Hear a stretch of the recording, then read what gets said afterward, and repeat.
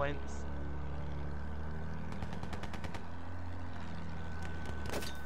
Oh my god! I just rolled killed the tank hunter with a plane. I just flew down and took him out with the plane. God. I'm not joking. I know you're not.